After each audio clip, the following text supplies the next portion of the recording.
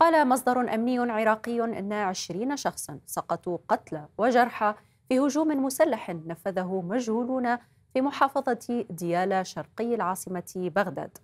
وذكر المصدر لوسائل إعلام محلية أن الهجوم الذي نفذه مجهولون ليلة الخميس بواسطة عبوة ناسفة وأسلحة قنص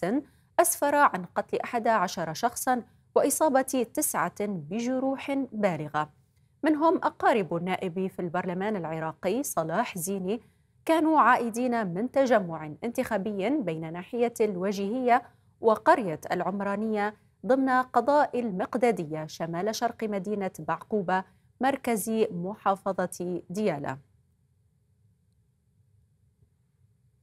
ومن بغداد ينضم إلينا مراسلنا شفيق عبد الجبار شفيق ما آخر المعطيات لديك حول هذا الهجوم المسلح؟ نعم. آه، طبعا صنف آه، أو صنفت العمليات العسكرية المشتركة هذا الهجوم بالهجوم الخرق آه، الإرهابي الذي حدث في محافظة ديالا شرقي العاصمة العراقية وحدث هذا الهجوم ليلة أمس باستهداف عجلة مدنية بعبوتين ناسفتين ومن ثم وما أن تجمع الأهالي أهالي قرية العمرانية التابعة لقضاء الوجيهية. حتى تم قنصهم من قبل ثلاثة مسلحين على على الأقل بأسلحة رشاشة مما أدى إلى مقتل 11 مواطنا وإصابة نحو 13 آخرين بجراح من بينهم يعني جراح يعني من بينهم بهم إصابات حرجة آه، نقلوا بعدها إلى المستشفى في آه، قضاء آه، في يعني مدينة بعقوبه مركز محافظة ديالا صباح هذا اليوم توجه وفد من قبل العمليات من قيادة العمليات العسكرية المشتركة بامر بامر من القائد العام للقوات المسلحة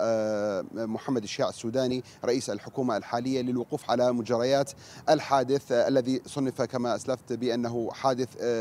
يعني خرق أمني وإرهابي من من قبل جهات آه، لم لحد الآن لم تتبنى آه، يعني آه، مسؤولية ما حدث في محافظه ديالا ولكن هنالك من يعتقد أن يعني هذه الحادثة يعني هنالك تصفية عشائرية بين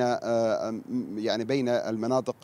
والقرى والأرياف في محافظه ديالا ومنهم من يعتقد أن يعني أن يعني بصمات ما يعرف بتنظيم داعش يعني آه، آه، يعني آه، من الممكن أن تكون العملية لتنظيم داعش الذي يحاول بين فترة وأخرى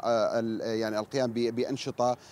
مثل مثل هكذا يعني أنشطة لا سيما وأن القرى هذه قرى تابعة للمكون الشيعي في محافظة ديالا على العموم يعني